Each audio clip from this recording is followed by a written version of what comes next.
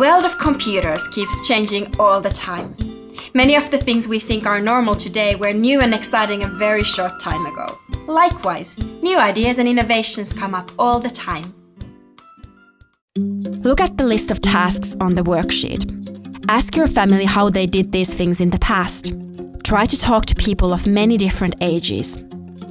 Can you name apps or services that have replaced the following? Writing a journal, reading comics, using a map, checking the clock, listening to music, sharing photos, hanging out with friends.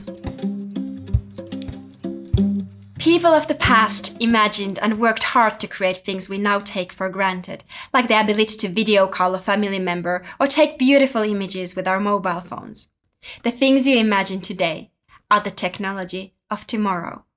It's up to us to build the kind of future we want to see.